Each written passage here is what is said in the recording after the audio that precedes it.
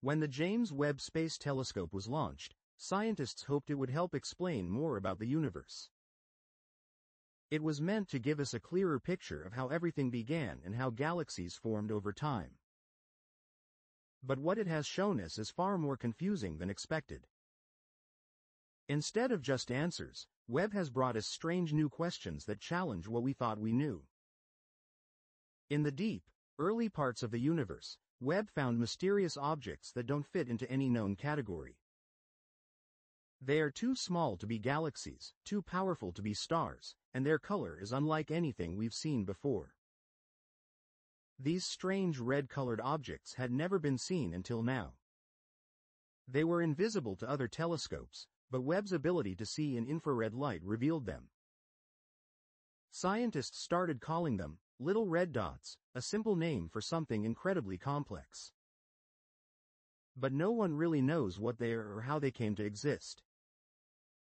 Some believe they could be the missing link between the first galaxies and the enormous black holes that we now see at the centers of those galaxies.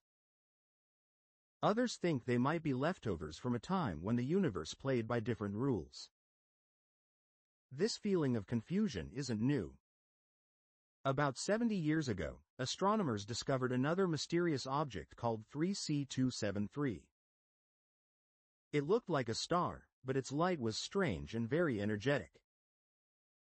At the time, they didn't know what to make of it. It flickered and glowed in ways no star should. Later, scientists realized it was something new, a quasar, a powerful light source fueled by a black hole. Quasars changed our view of space. They showed us that black holes could be incredibly active and bright. Now, Webb is doing the same thing again, revealing objects that may be even stranger. Webb has found hundreds of these new red objects. They look a little like quasars but behave very differently. They're smaller, dimmer, hidden in dust, and only visible in infrared light. Before Webb, some of these faint smudges were seen by Japan's Subaru telescope. They were called Shulkas, short for Subaru High-Z exploration of low-luminosity quasars. At first, they were thought to be just distant galaxies. But their light was too red and too bright for their size. When Webb looked closer, the picture became even more puzzling. These objects were wrapped in thick clouds of dust and gas. The gases inside moved incredibly fast, speeds that can only be explained by the pull of a black hole. But the black holes didn't make sense either. They lived in galaxies that were too small and behaved in ways we've never seen before. They didn't match any known pattern. Then, scientists noticed something else. The Shulkas and the little red dots shared many traits. Both were small, dusty, bright in infrared, and only appeared in a narrow window of time, around 600 million to 1.5 billion years after the Big Bang. Before and after that period, they vanished completely. This raised a haunting question. What kind of cosmic object can exist for only a billion years and then disappear forever? Webb's deeper studies gave even more surprises. The light from these objects didn't match the usual signals we see from galaxies or quasars. They had chemical fingerprints that didn't make sense. Some of the signals suggested energy levels that stars couldn't reach. Others flickered in ways that looked like unstable reactions, possibly caused by extreme pressure or temperature. It's possible these objects are made of unknown materials or that they follow physical laws we don't yet understand.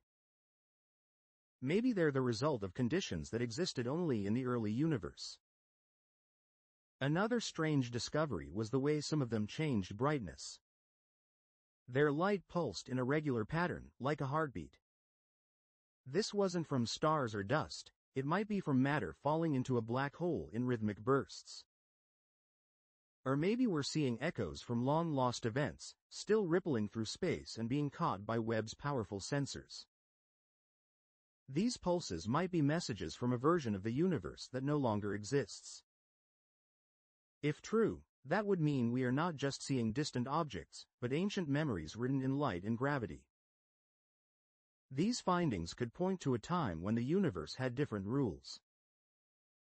Even more surprising, these mysterious objects might not be rare at all.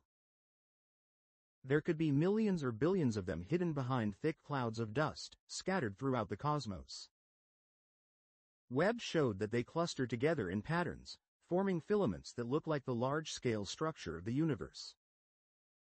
But they're much more compact and energetic than normal galaxies. Some scientists think they might be the first building blocks of the universe. Maybe everything we know came from these early structures. But if that's true, where did they go? In the deep silence of space, these tiny red lights whisper something both humbling and haunting. We do not yet know the universe. Subscribe to our